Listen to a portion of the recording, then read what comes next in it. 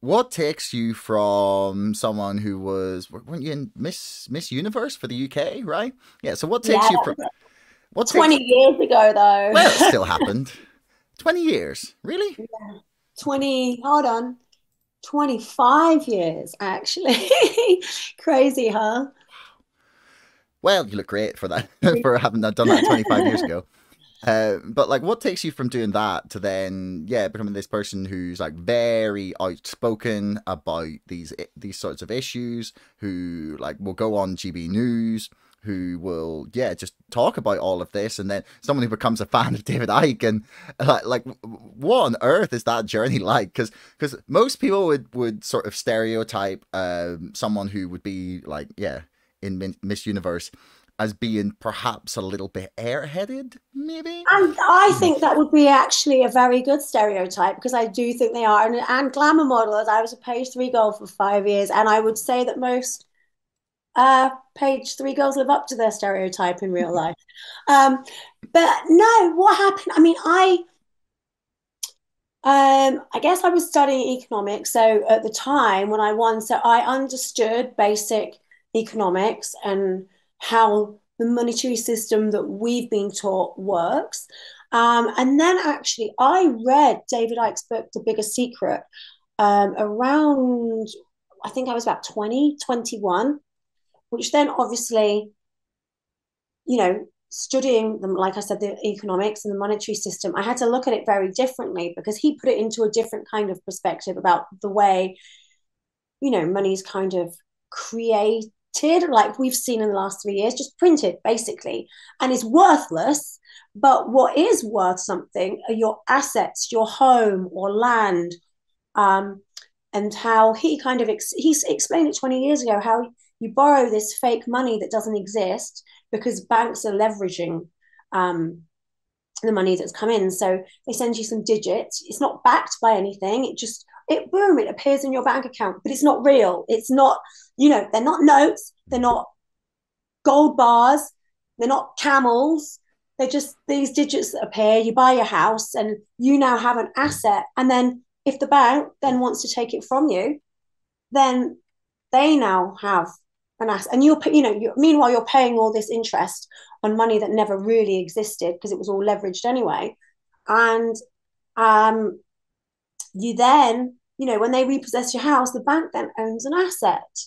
So he explains it far better than me. I don't do, I don't usually go into that realm, but it, it just raised red flags in my head. And I, I looked more into it um, so that I could understand it better. And I think that was the journey for me. Then obviously I, I moved to Los Angeles. I lived in LA and before it became this ultra liberal, like insane place, um, it was quite a health, con- you had the very health conscious aspect of it. And it was there that I saw that a lot of what David talked about regarding big pharma and, um, you know, not just drugs, but also pesticides and, you know, the things that they put in our water and food. I started understanding more about that and the dark side of that and how, you know, they kind of don't care if you get ill because if you're ill, they find some drugs to treat you that whose the side effects are probably going to make you more ill but you're on this cycle with big pharma and you're a good customer and you're constantly feeding into you know their profits. So it was those kind of things years ago that I saw. But again as I you know I was modeling at the time it wasn't it was always in my head. I just didn't really have anyone to talk to it about talk to um, about it because they probably all think I was mad or like, oh, Lani, you're, you're kind of boring. Like, why aren't we talking about shoes and clothes and handbags? Like, what's this weird stuff you want to talk about? So I kind of had my other friends that we go down these holes and talk about that stuff um, together. And um, I think that's how it started. So I've always had it in me. But what I think the catalyst was to really speak out was when lockdowns happened. And I knew the devastation that lockdowns would cause. And I could see this as being like, right, I know what they're going to do here. They're going to give you an option that you have to have a vaccine mm-hmm. to set you free. And, and everything else about is going to be irrelevant. The rush of it, side effects, everything else is going to be irrelevant. What they're doing now is they're locking you down so that they can hold this little bit of magic that's going to set you free. And I could tell what was going to happen. So I was really outspoken about it. And then I got a load of abuse. And I thought, you know what? If I don't say, like, I can't be cancelled. I'm so lucky. Well, I, I mean, I could be cancelled. My my agent called me and said, Lonnie, look, you know, speaking about a dodgy subject here, you might not work again. I'm like, okay, fine. I'll go go and ride my horses every day and not even have to worry about having to be somewhere at A, B, or C time. Mm. Um, so I could be cancelled that way, but financially, you know, I'm independent from that. I've got a great fiance who supports everything that I do. Um, I don't really have a boss well, I don't have a boss. I work for myself. So you can't cancel me. Well, I, I don't know like what you're saying. Oh, you're cancelled. So it's not that doesn't it doesn't happen like that, does it? You know, when you're your own boss, you can't get fired for saying something you don't you don't like. So uh, they don't like. So I just thought if I if I don't speak out, it you know, I'm not I'm doing myself a disservice. And I had to vent it anyway. It felt good to get get it out. Mm.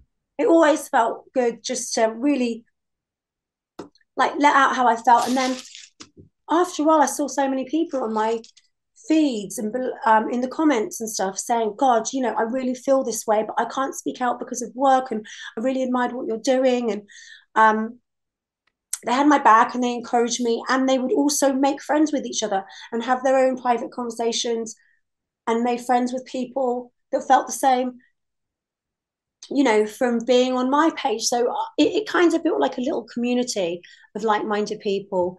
Um, and then obviously it moved on to like mandates and mm. and other really important issues that I think a lot of people want to speak out about, but they can't because you know they have to look after their families and you know work might fire them basically, which is mental, completely mental. Yeah. Well, much respect for uh, having fuck you money and using it.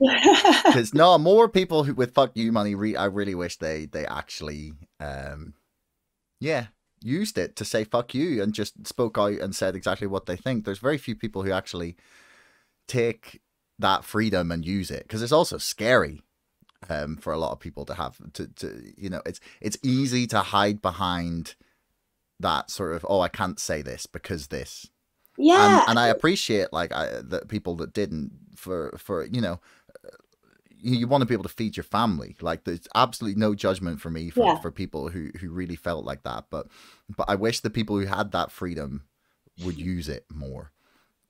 You know. Yeah, that's the thing. I think there's a lot of people that are also afraid of backlash mm. or what people think about them. And I lost that a long time ago. I've never cared what people think. Obviously, you know, and maybe it's from doing from modeling or page three or whatever. I knew who I was then. I know who I am now. So, you know, the labels and names that you want to call me because of anything that I do that aren't me it's over it goes over my head because i know that's not who i am and i've only ever cared that you know the people that i love dearest um, you know, know who I am as well. So, you know, when I was called a granny killer, I know I'm not. It's the most stupid thing I've ever I've ever heard of in my life. Do you know what I mean? I'd never impose my views on a little old lady or a little old guy on the street and say, look, I'm not in a mask, so I'm going to come and breathe over you. Like if I can see they're frightened, you know, it's a, it's a shame, but you know, I'll respect that person. But I also want to be able to um, express my views that I think, you know, it was complete and utter bullshit and masks don't work or, mm. or whatever, whatever it is. So I'm always respectful of other people. Um, so I know that I'm not, you know, I'm not any of the names that people have tried to slate me for or use or or anything else. And and I think it, it was weird because like people would always say like, would say to me I was brave for speaking out, but that has never ever once crossed my mind because I, I think you have to. You have to be true to yourself because otherwise, and the, and the more, and I'll say this as well, the more that you are true to yourself, the more you attract great people around you. And because if you're always putting on this fake pretense, then the people around you are going to be people that either ha- are uh, living that fake pretense or really are that kind of person that you have to pretend you are. So you never, you'll never be truly happy. Yeah. Hey everyone, thanks for making it right the way to the end of the podcast. I love that you tuned in this long. Do me a favor, hit subscribe because 80% of you bastards are not subscribing, but you're watching my videos. See you next time.